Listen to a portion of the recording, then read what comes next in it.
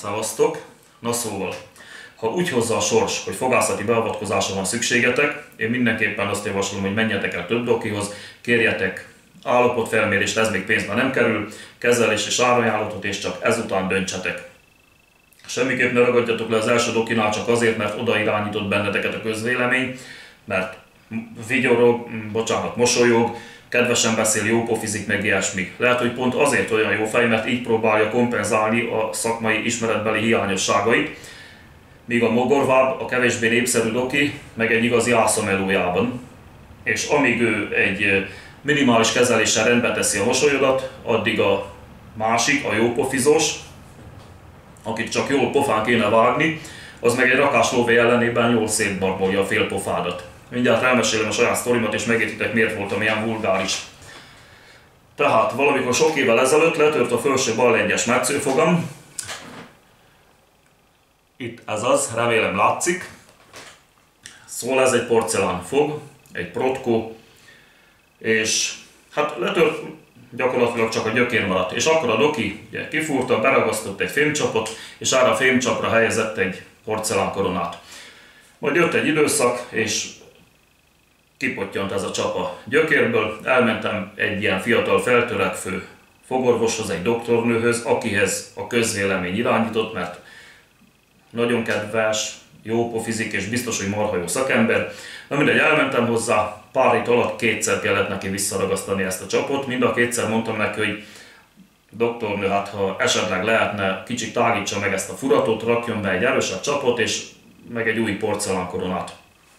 Mondta, hogy ő ezzel már nem tud mit tágítani.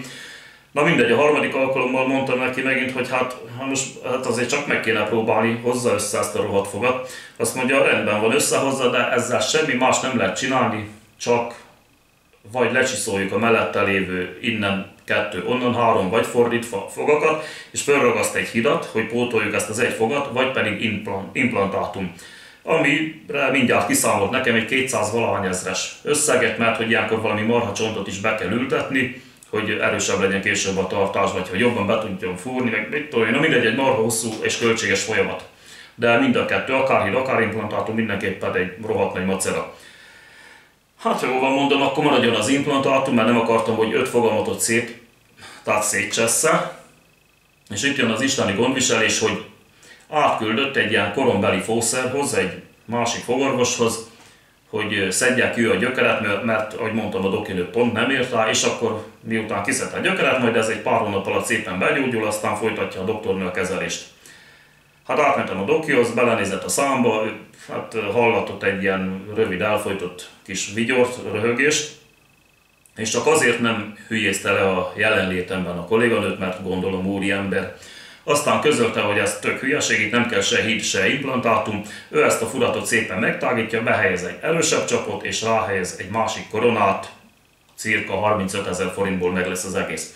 Mondom neki, fú, doki, hát én pont ezzel az ötlettel, ötlettel álltam elő háromszor is a doktornőnél, a fiatal feltörekvő tehetségnél, de majd, hogy nem tökörrugott, hogy hogy tudok ekkor hülyeségeket beszélni.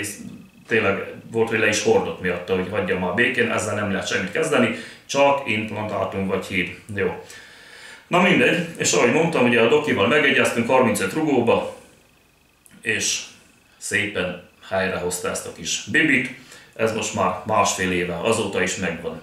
És megúsztam egy legalább 200 ezeres költséget, meg egy ilyen marha hosszú folyamatot, egy ilyen hülye kezelést, amikor, na mindegy, ahogy mondtam, a hídnál is egy csomó csiszolás lett volna, meg nem is tudom, mit szoktak ilyenkor csinálni, az a lényeg, hogy jól szép barmolják a pofánkat, az implantátumnál meg csak egy ilyen marhacson beültetés lett volna, hát ugye ez, ez emelte volna még igazán a költségeket.